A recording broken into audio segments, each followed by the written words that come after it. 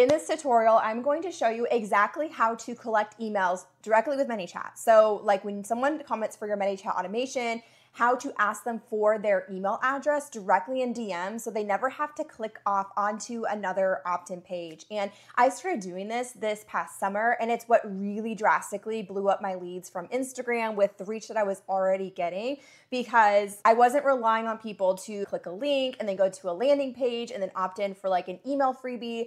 Instead, I was collecting emails and am collecting emails directly from Instagram. Okay. So, like, they type their email via DM to me, and that adds them to my email list. And so, if you look to your screen, I have this set up in a ManyChat clone that you can like save to your own ManyChat account. I'm gonna have a link directly below in the description so you can save it to your account and then walk through step by step like how to implement this. And that's what I'm gonna be showing you in this video, like basically how it works. So if you click the blue button in the bottom right hand corner that says save to ManyChat once you open up the link. So if you need to pause this, go grab that template and then come back whenever you have this page open. Click that blue button, okay? That's gonna save it to your own ManyChat account. So we're gonna go ahead and just save it here. Once it's complete, we're going to hit view flow down here at the bottom. And uh, the first thing for, for, I guess first I want to walk you through kind of how this is set up. Okay, so we have when someone replies to your story or when someone comments on your post or your reel. So the really important thing here is that they do have to, if it's a feed post, they have to basically either tap a button, send you a message that says that they agree to receive communication from you, basically. So like you can't do this if you just send them a direct link to something. Okay. And so what you want to do is that you'll see the first message here says something like I can't wait to share, put the title of your freebie or whatever it is you're giving them right there with you. Tap below if you're ready. And then there's a button that will be right below this that they tap, okay? And so that's signaling that then you can send them follow up messages, which makes these automations so much more powerful. And so the first step here is it's going to say, first up, I need your email. This means you agree to receive emails from me. Don't worry, this just means uh, or this just allows me to send it over to my email service provider and add you to my weekly newsletter. And you can tweak this to whatever makes sense for you. But this is an important disclaimer you need to provide here and basically say, you are going to be contacting them, right? And adding them to your email list. And so that is something that to comply with email regulations, laws, terms, make sure you're doing something like that. And so I then ask them, I say, okay, now for instant access, type your email below.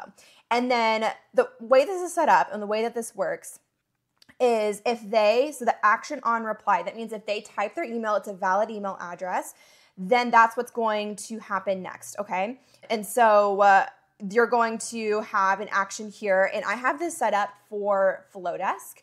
If you use a different email service provider, you're just you're gonna have to look into ManyChat's help articles to see how to do it for your email service provider, whether you can do a direct integration or not. Flodesk is amazing because it is a direct integration. And so when you come in here, basically you're having it do an action. This is where you would set it up for whatever email service provider that you do use. Um, you can, I'm sure for most service for email service providers, if you do Zapier, you can connect your ManyChat automation to your email service provider this way. So like when someone is added to a tag in ManyChat or some other way within this automation directly, you can have it then pop them over into your email service provider. Okay, that's how you can grow your email list. But you'll have to look, use ChatGPT or Google, figure out like for yours how you would do that. But I know a lot of you use Flodesk, which is why I set it up for that.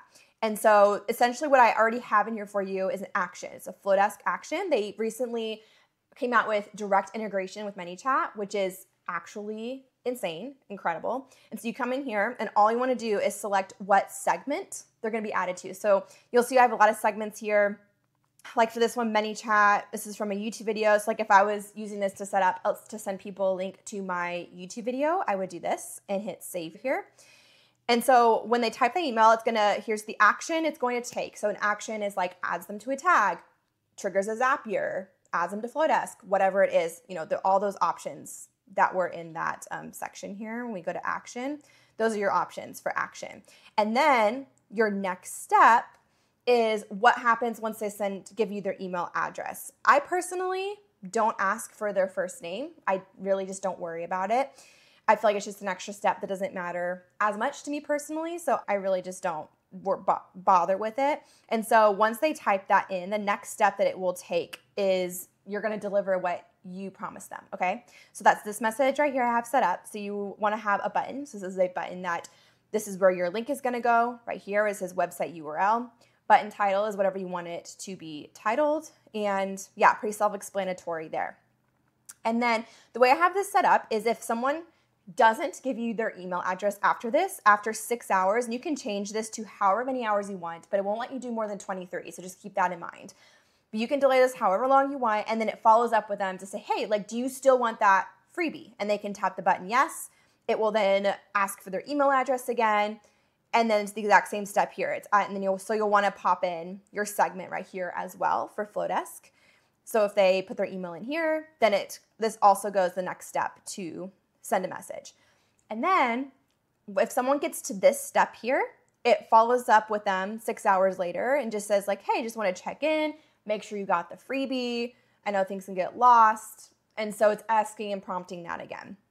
One thing I do want to add here, and I may update this template to include this, but one thing and little tip if you're watching this video, because it's obviously not in the template, is you can also set conditions so that if someone's given you their email address before, it will automatically go through the steps to add them like to your Flodesk account to or your email service provider and add them to that segment without them having to type their email address in every single time. It's pretty cool. And so basically it remembers the email address they did before. So like if I have someone who is in my audience who opts in for five different freebies from my Instagram content, they can come or they only have to give me their email address the first time and it will continue to like remember their email address the times after that and go down the flow without them having to retype it all of the time, which is so nice. So, how you do that, let me space this out a little bit more here, is what you would do is before this first message, it says, first step, I need your email, okay? you uh, when they tap this button so see this little gray let me zoom in a little bit. This little gray circle here next to the button okay? You're going to click on that drag and let go. And that's going to prompt you to what do you want the next step to be when someone taps that button? And this is the step that's happening before we ask for their email. So we're going to do a condition we're going to do click where it says all of the following conditions okay leave it there we're going to click on condition here and then we're going to go to email. So it was one of the recommended ones right here. I believe would be under user fields. Yeah, email. But I'm just going to click on email and then you want to so if if the email is unknown, that's the automatic option. If they match that condition, if the email is unknown, then we want it to go to that first step, right? To ask for their email address. But if they don't match this condition, which means if they've already given you their email address before and ManyChat has that stored, then what you want to do is right here, um, you can either click choose next step on this pop up right here. If not, choose next step. Or you can even click here where this little red button is. That will also do the same exact thing. Click it, drag it all the way to just sending them the link okay? But remember, we want to add them to our to our email service provider as well. So I guess actually what we want to do is we're going to do an action. We're going to add the Flodesk. So if that's not there, go to Flodesk, submit data to form, and then that's where I would select my Flodesk segment. So say I'm doing it for this video. So it's going to, if they have already given the ManyChat their email address, once they tap this button, it's going to automatically add them to the segment for this freebie. And then it's going to immediately send them this message with the direct link. And that's the link to the freebie. It's not a landing page or anything, it's the, the freebie itself. And this will also how I have mine set up. Like when it's added to the segment for that freebie, I have a workflow in Flodesk that automatically also emails them a link to the freebie. So I could also put in this message like, here you go. Actually, I did. here you go. Also send it to your inbox. So that's how that's happening, right? You would also want to do the same thing for you. I mean, you could up here. It's more than likely it's not going to though. You could technically do that exact same process for right here because right here it's asking for their email again. And so maybe between the six hours that they initially reached out and that you send this follow-up message maybe they've given you them given you their email in some other way. But i probably just wouldn't worry about it. It's really i mean you can but um, you would just do it the exact same process. So you would do okay so when they press this button you would want to do a condition.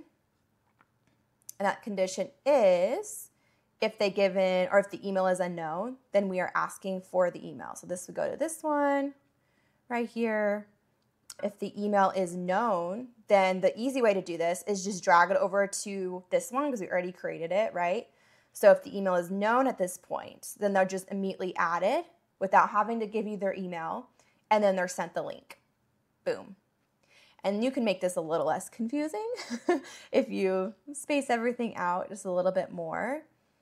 Um, but this has been a game changer. Like, I used to be lucky if, like, 10 to 20% of people who initially comment for a keyword, either stories or feed, who actually finish the opt-in and give me their email on a landing page versus doing it this way. I have like 70 to 80% of people who initially comment for ManyChat like actually finish giving me their email. It's insane doing it this way and having it. And it's just so nice for the user because they don't have to leave Instagram to sign up for my email list or to actually access the freebie. It's insane.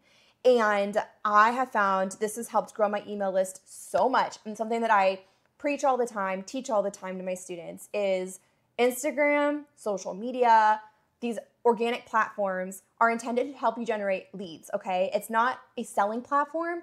Email is your selling platform. And so if you want to sell more of your products, especially digital products, courses, think about how social media like Instagram is helping you generate leads and you're getting as many leads into your top of funnel as possible. Like you're pouring all these people in the top, which is giving you their email. And then that's going to trigger from there. They opt into your freebie. Maybe you link to some of your digital products in your freebie very organically, very naturally. Maybe it triggers an email funnel. Maybe there's a tripwire. I've played around with sending like this follow up message being more so a pitch for a product and like giving a coupon code. Like there's so many ways you can go about that. But at the end of the day, social media like is not necessarily just direct selling. It can be, but one of the most powerful ways I've used it is growing my email list like this and growing my leads because I know once I get them onto my email list, I can sell them there and I have a really really really effective way of selling people via email marketing.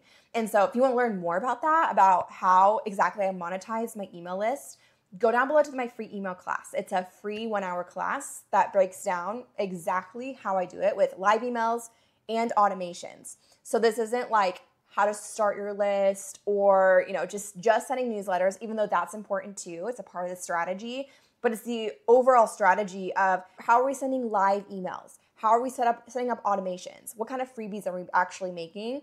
that is actually at the end of the day going to make you more passive income from your instant access offers, right? So, like courses, digital products, even affiliate marketing is what we're focused on here. So, I hope this tutorial was so incredibly helpful for you. It's been a game changer for me as I've really bumped things up with Instagram this year. And I have actually seen so much more organic growth ever since the beginning of July in the past couple of months since I decided to go all in with this strategy and also other strategies on Instagram, which I'm excited to share even more about with you guys on this channel soon. So, thank you so much. If you have any questions, drop a comment below. I'm happy to answer any questions or hangups that you have. And I'll see you guys again next week's video. Bye, guys.